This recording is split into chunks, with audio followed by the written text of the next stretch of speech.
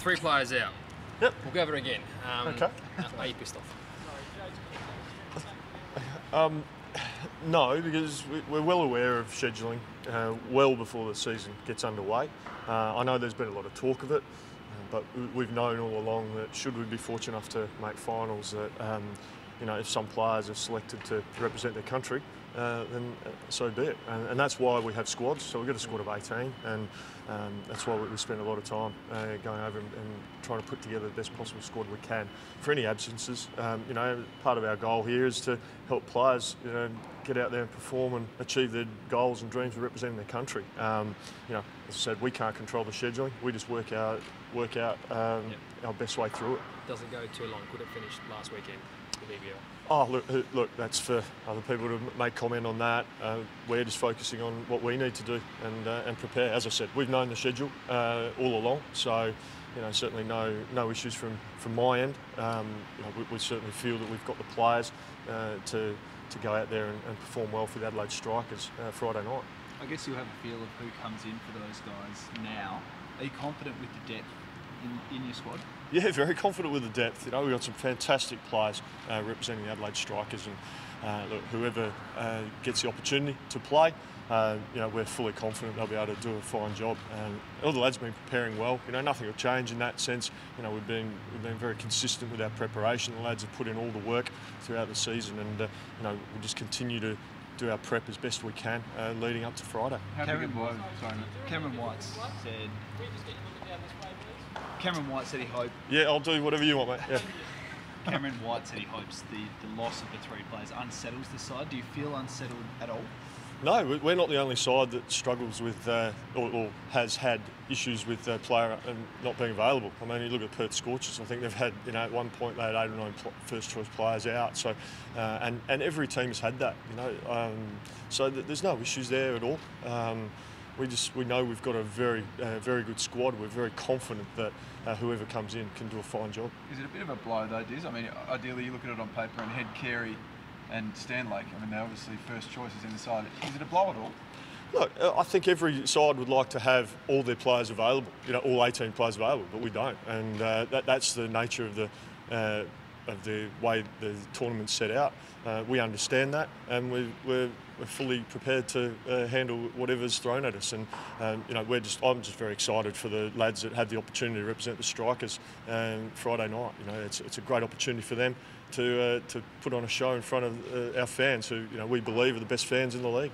Perth, do you, uh, sorry, do you have a preference who you want to see get up tomorrow night between Perth and Hobart? No, I don't. I, we- we're just focused on our game and uh, whatever happens. I mean, it'd be brilliant if we were fortunate enough to win here to be able to have a home final, but that's completely out of our control. All, all we can control is the game Friday night and how we go about our game.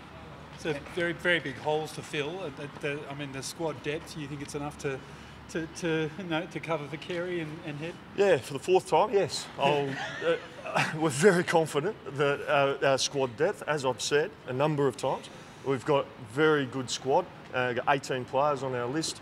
Uh, we've uh, brought in um, Harry Nielsen uh, to cover for Alex Carey, so we're very confident that our, uh, our squad can do the job. Is any extra pressure to deliver in the final because you haven't made the decider? You finished on top, you know, two years ago and the three years ago. Last year you were sixth, I think it was. But you know, is there any extra pressure now to finally win a semi and get in the decider? Uh, pressure's in the mind, so um, look, we- we're just focused on our game and what we do and what we can control. Uh, we can't control other people's expectations, and what we can do is control what we do in our preparation, and then when we get out on the park, when the decision making, uh, when, with lads with bat and ball in hand. What does it mean? What would it mean to you then to finally get over the hump and make the make the final? Oh, it'd be fantastic for the lads to do that, but uh, as I said, we've got a process to go through, and we've got to get through our, at that game, and, and that game's going to be very tough. Melbourne Renegades are a fine side. You know, we understand that. A lot of match-winning players. We know we have to play at our very best to compete with them. Is the lead up any different? Is the approach, the training, meetings, anything any different leading into a final? We, we have our we've been very consistent with that, and we just continue to um, to prepare as well as we can. Because all you can do is all you can do. Can't do any more, and so we'll be doing everything we can to best prepare, and uh, we'll go out there and uh, with with clear minds, and let's just go out there and enjoy themselves and, and embrace the whole uh, the whole night. It'd be great. No Brad Hodge, pretty handy. Brad Hodge is a fine player, absolutely, and you know, uh, hopefully he recovers, you know, uh, well soon. You know, that was a, a nasty thing having appendicitis. So look, we wish Hodgie all the best and, and hope he, he gets over that really quick. It's always exciting, I suppose, when the uh, both teams are playing in a final and you know finishing the year pretty strongly. How do you feel about uh, the women's team chances ahead of this week? Yeah, obviously uh, feeling confident about it, and it's fantastic that we've ended up with a final here in front of the boys, and uh, terrific that Cricket Australia made that call, even though we finished fourth. So um, it helps to raise the profile of the female game, and I think it's great for the fans to be able to come in. Hopefully, they get in early and start cheering loud for us, and got their voices ready for the guys. Well, did you at the start of the year? Did you expect to be where you are now? Well, certainly I wanted um, us to make the finals, so that was put on the table from the first training session. So, and the girls have uh, certainly done well. I think we had a bit of a hiccup on the weekend in Sydney, but obviously we have to turn that around Friday afternoon. And are there some? Is it better going in from fourth, say, than first sometimes without that expectation of being the minor premier? Do you feel like you got nothing to lose to some degree? Not really. I think when you get to finals, it doesn't matter who, where you finished. It's it's a 50-50 game, and you, you've got there. So that's a it's a first for us. So it's something new for the girls to um, take in. But um, yeah, I think it's anyone's game from here. So whoever plays the best on the day, obviously, is going to um, be there on Sunday. A, a few comments have been made about standalone finals. What- What's what's your view on a standalone final for women? Well, certainly that's something that we will push for in the future. That I think it's great that we get the opportunity at the moment to play in front of the boys, and for us, the excitement of um, you know both teams being in the final, I think that's that's special in itself. So the Sydney teams might not agree with that, but um, yeah, we don't really care too much for what they're thinking. So uh, I think for the for the Perth Scorchers who have got this a similar experience, I think it's fantastic. But obviously in the future we want the game to uh, stand by itself and for the fans to come in and, and watch us and go home, not worry about whether the boys are playing or not. Some talk that could be next year, uh, sort of the window in October, November for a standalone comp. Is it ready for that to, to take that window? Yeah, I think if you look at the um, audiences that we've had and the, the viewing on the TV and the live streaming, I think the, the, the interest is growing and growing all the time. So I think actually the, the female games um, getting more interest. Well, they're, they're increasing with the number of viewers, and the boys are falling off a bit. So I think that's a sign.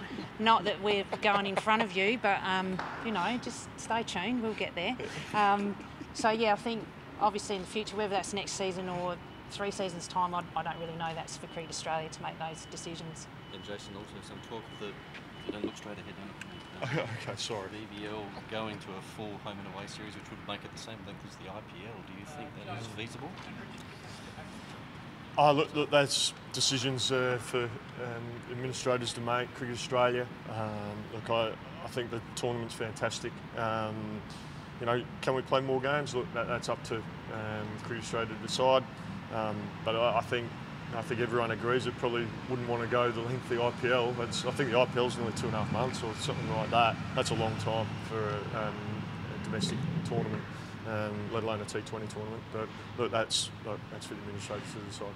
Can I just ask about Harry Nielsen's form coming into, Mm. the, into the game? How, how, how are you feeling about him? Oh, it's good that someone's asking about Harry. Yeah, um, look, it's fantastic. Uh, look, we're delighted to be able to offer Harry that opportunity. Um, you know, he, he's performed well uh, at, at club level, at second team level. He's played for the Cricket Australia 11. Um, you know, the, uh, late last year.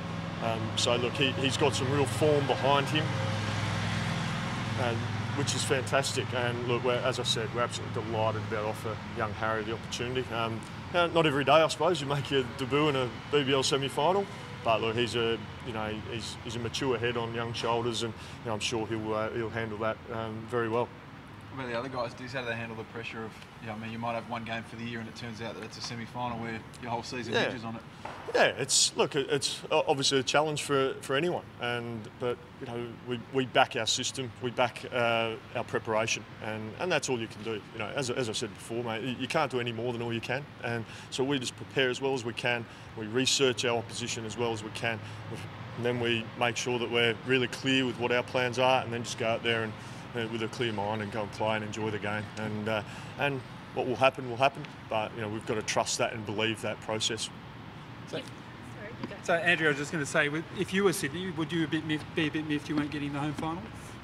Well, they knew from Yeah, the start that they uh, weren't going to play at home, so because the Sydney male teams weren't in featuring in the final, so maybe they're disappointed that they're not playing in Perth. But you know, at the end of the day, it is what it is, and I guess they've just got to deal with it.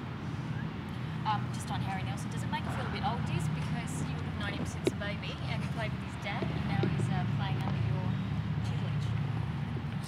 Thanks, Jodes. Um, no, look, it's, it's fantastic. I mean, look, look, we're all getting older, I suppose, but to, to see a young guy like Harry, who, who's you know come through age groups and worked incredibly hard at his game, um, to have this opportunity is just fantastic. And uh, but yeah, in the end, yeah, I feel old. Yeah.